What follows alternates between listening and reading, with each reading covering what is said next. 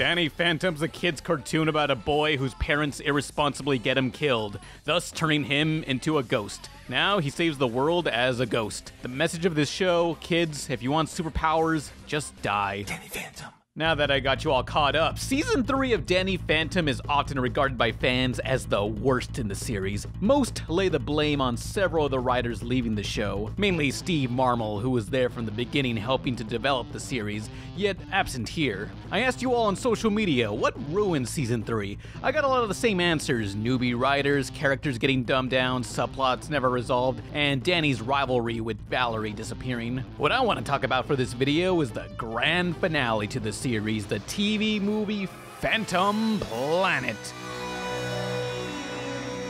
A special in which Danny chooses to give up his powers while a big meteor is coming to smash the Earth. What will the planet do? Find out! I was gonna cover season 3, but you know what, I'm not feeling it. So I'll just do this TV movie. A TV movie that filled me with. What? Huh? Why? It's so baffling. So, let's find out why Phantom Planet is the 11th worst cartoon ever! In no particular order, it's Juice and Jam time.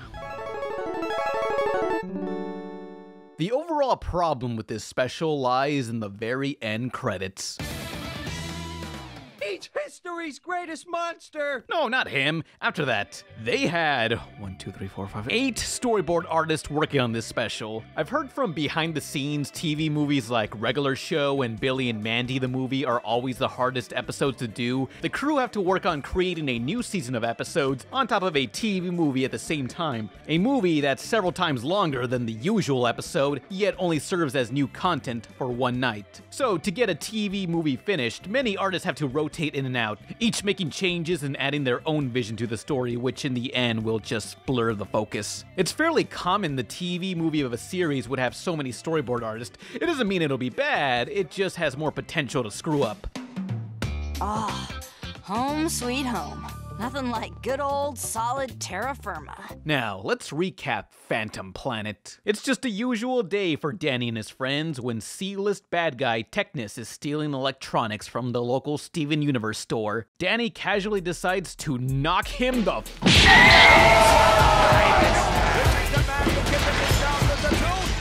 punches him so hard, Danny destroys the very thing Technus was stealing. This implies Danny don't give a fuck. Technus retaliates by making a stupid Michael Bay robot out of a car, but it looks like there's a new sheriff in town.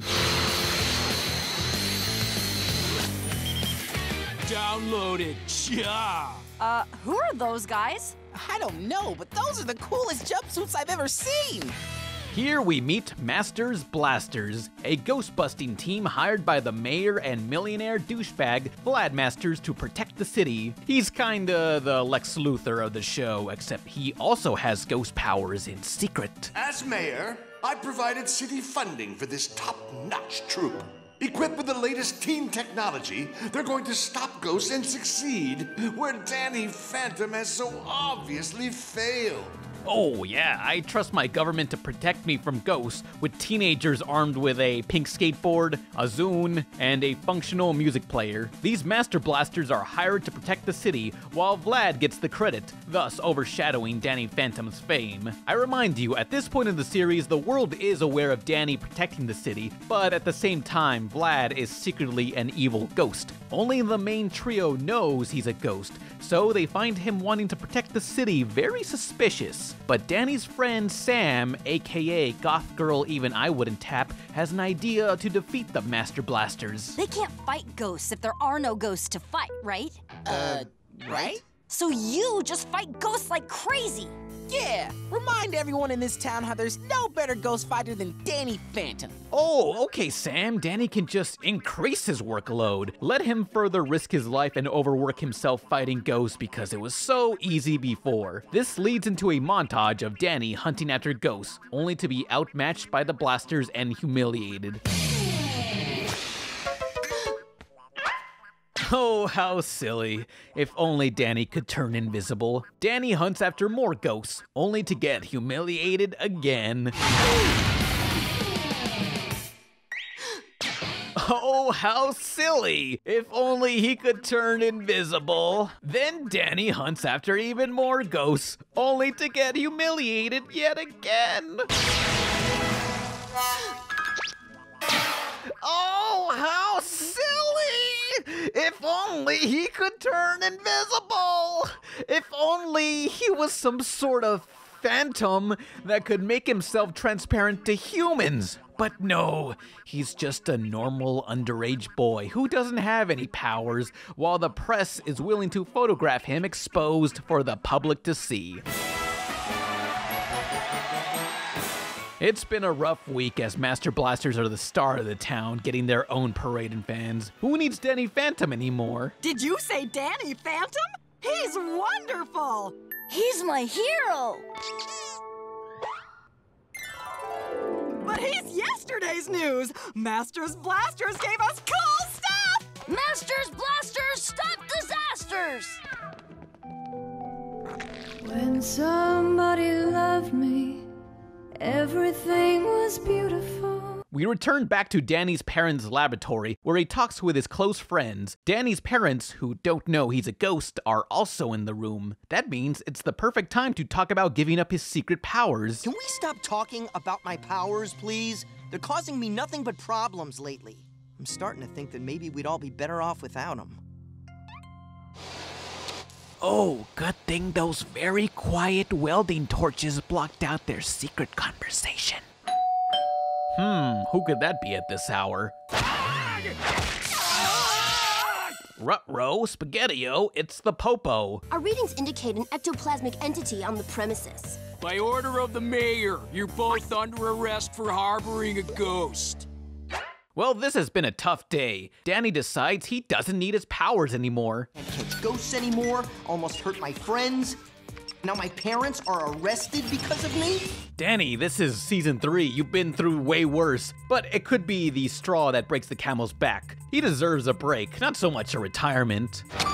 So, how does he remove his powers? Well, the way Danny first got his abilities was by standing inside this ghost portal and turning it on. So, by repeating that again, that takes his powers away, or gives them back when done once more. They've done this a few times already, it's established.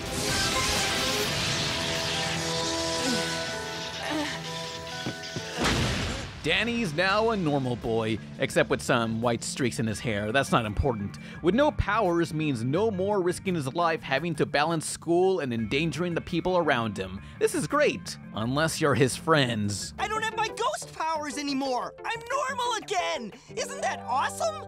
Yeah. Great. Thrilling. Don't you realize what this means? Yeah. That you're just an average, everyday, not special human again. Hey, if it's what you wanted, then I'm glad for you, man. Looks like we'll have to find other things to occupy our time, huh? I really can't believe you did that. It feels like I lost a good friend, someone I was just starting to get to know. Yeah, Danny. We never liked you. We like Danny Phantom, not Fenton. But I guess we'll hang out with you out of pity. Like, what's their problem? They ain't the ones risking their lives every day. He deserves a break and he can get his powers back if he wants to. With his powers gone, the Master Blasters can protect the city. It's a win win until they start charging for their services. Yes, quality ghost fighting is getting very expensive these days. Time, equipment, storage, it all adds up. Um, I know Vlad is a villain, but he's also a politician, which is redundant. But as a politician and mayor of the city, can't he just tax the people, then billing them up front? Well, that's what they were already doing. Maybe he needed more money, or maybe the writers forgot about that aspect. As mayor, I provided city funding for this top notch troop. Obviously, this billing idea was Vlad's plan all along, which causes Sam to come out with this outburst. You're not you anymore. You're just a, a normal kid, and a selfish one at that. How am I selfish? Because I don't want to endanger the people I care about the most? Your powers gave you a chance to change things, a chance that no one else had. And I was thrilled to be helping you. But now you're just one of the crowd again. You got to fight ghosts after school, while other kids fought acne. And you don't really seem to care about what you gave up. I care. It's just I care about you and my family more. When you had your powers, I knew that this town was protected from evil. But now, who knows where we're headed? Yeah, how dare you, Danny? How dare you care about your friends, family, and your own well being? Why can't you be a rich, overworked father doing late night business meetings and showing up late to your own son's karate recital while you wait till the last minute to buy him a Turbo Man doll the day before Christmas while Sinbad tries to publicly execute your son in broad daylight? You ever think about that, Danny? No, you don't. You just don't. And if you don't, you just don't. Biggie Smalls, 1993. We'll be back after these messages.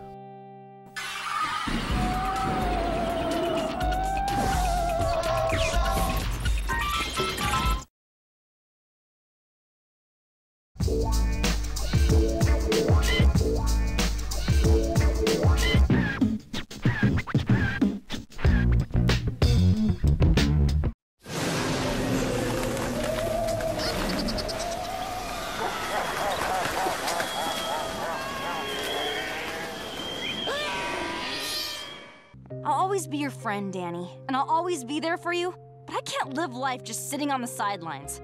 I'm surprised you think you can. The problem with Phantom Planet is everyone became impulsive assholes. Danny outright quits going ghost, while Sam's whole issue is she wants the city protected, which it is, at a price. All Sam seems to care about now is being different from the crowd and going thrill seeking. I can understand if Danny's friends are supposed to be irrational and we should side with Danny, but the episode treats his friends like they were right all along and Danny's the bad guy. Like, geez, I think Danny should decide if he should keep doing this or not. This conflict could have worked, but their motives just made them ungrateful. I relate to Danny wanting to quit. My YouTube thing feels like it's going downhill and no one's hiring me to make character designs, so I don't know what to do outside of this.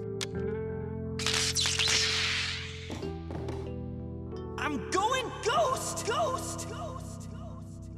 Sam's guilt trip shames Danny into trying to get his powers back using the ghost portal, but his previous stunt destroyed it for some reason, or maybe he purposely destroyed it, it's never stated. Without the portal, Danny is but a humble normie. This conflict is immediately destroyed in the very next scene. So the ghost portal exploded. It's not the end of the world. You can always make another one.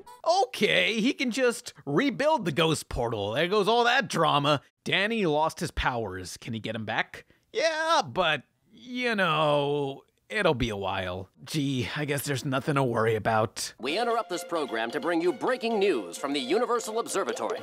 Earlier today, our stellar readings indicated that a massive asteroid is hurtling across the solar system. Aw, snap. Turns out a giant meteor will be colliding with the Earth one week from now. If only Danny had his powers, he could. Um. Well, I guess his powers wouldn't be much help either way. Point is, they got one week left. The fate of the human race is at stake. One week. Use it wisely. As kids, did anyone else fear the world would get destroyed by a meteor or black hole? I used to turn on the news expecting for some reason that would be the case. Clearly, it never happened, and 100% of doomsday predictions turn out false. As for Danny's world, it being destroyed by meteors can be prevented. We got missiles. Countries are combining their greatest technology to stop the oncoming threat. Okay, that is total BS because I don't see a single North Korean flag on those missiles. Regardless, it's time to launch the missiles now. Launch the missile now! Now!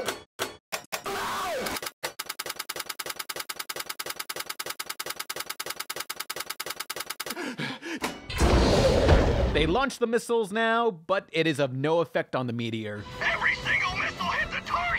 So, here's plan B. The evil Mayor Vlad pays his longtime friend, Danny's dad, to go into space with a government funded rocket to drill into the meteor and blow it up from the inside, which works. Or does it? I knew we could do it. There isn't a rock anywhere that can outsmart Jack Fenton. That's the disasteroid. You had us blow up the wrong one, you idiot. Then what did we just blow up? The Hubble telescope.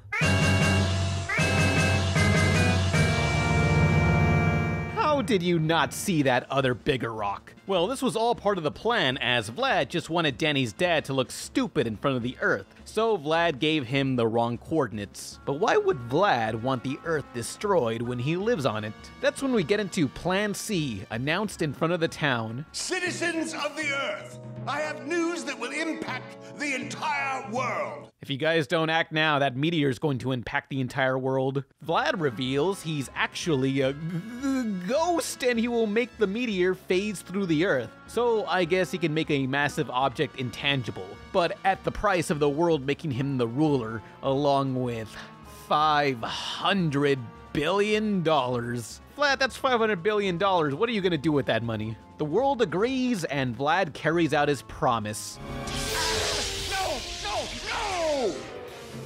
Is the meaning of this? Asteroid composed entirely of unique anti-ghost element, ectoranium. Ectoranium. Ectoranium? Then I can never touch it. No ghost can. That means the Earth is doomed. You know how ghosts are made out of ectoplasm? Well, this is their kryptonite. Ectoranium, a mineral that has never existed in the show until now in this very moment, all for the sake of causing a problem. This could have been acceptable had they introduced or hinted at its effect earlier somehow, but it just seems so much like a plot device. Having the meteor phase through the Earth is not going to work, but Danny has a plan. First, he needs the help from the evil ghosts in the dimensional void called the Ghost Zone. If the Earth is destroyed, the Ghost Zone is too. Here's hoping they'll listen to reason. The ghosts don't listen to reason, so they kill Danny. But it turns out shooting Danny transforms him into Danny Phantom. He has his powers back somehow. My powers are back!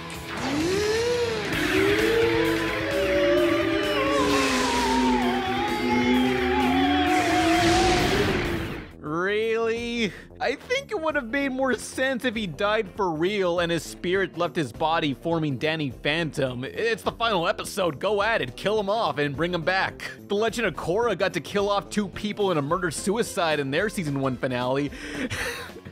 So how did he get his powers back? I read some Danny fan theory stating that the white streak in his hair meant that he still had some powers left. Thus, Danny just needed to recharge by getting blasted, as opposed to every other time he got blasted by ghosts and it only hurt him. Do you understand why I'm so confused by all this? Danny puts the Ghost collab idea on hold to announce to the human world his plan that he assures us will cost no money, unlike Vlad's idea. Because we're not gonna turn the asteroid intangible. We're gonna turn the Earth intangible. Well, how exactly does someone make the entire Earth phase through the meteor? That's where Danny's other friend, Tucker the Black Nerd Comedy, has a solution. The new plan is very simple. With a strong enough ghostly power source and a big enough transfer device, we can send the ghost intangibility across the entire planet. This way, the disasteroid will pass harmlessly through. Hey, that device looks a little familiar. You fool! Well, we got no other options, and according to Danny, this won't cost a dime. I have a plan, and this one is absolutely free. This idea just doesn't seem plausible at all. And if it weren't crazy enough, Phantom Boy hijacked his parents' ghost fighting jet to capture every single ghost in the ghost zone. At least I think every single one. It makes it seem like every single one, or like a million. I don't know. One down, 96 bazillion to go. All this in the span of a week, or maybe like an hour? Just one of these ghosts in any other episode was a major adversary to Danny. Suddenly now with this jet, he can capture a bazillion of them in no time? We're supposed to accept all this, the cables, the ghost capturing all in a week? One week.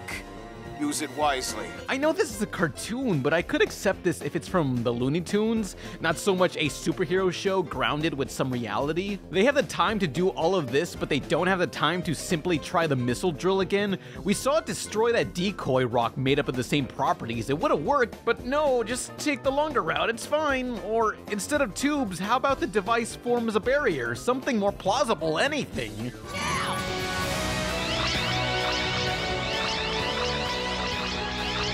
Yet it all works out so that anyone touching the Earth is saved. By that logic, any birds, planes, or astronauts hovering over the Earth are all dead. Maybe also anyone who jumped at the wrong time. They fell through the planet. Hey, you can't win them all. Where's the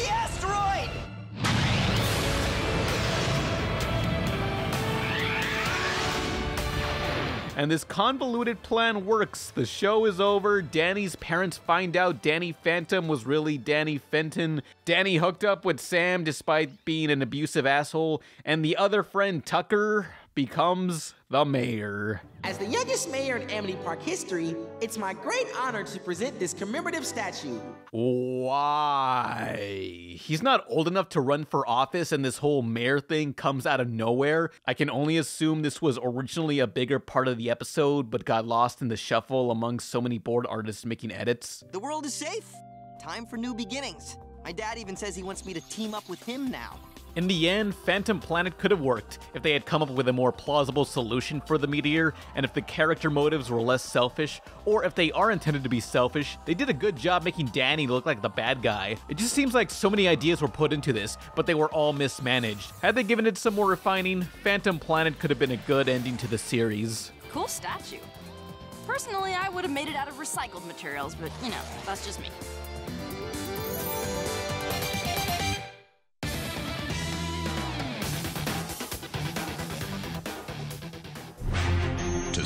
Planet, one superhero must lose his powers. Can you hear me? Get them back again, kiss a girl, and team up with like a bazillion ghosts. Look, a portal! All in just one hour.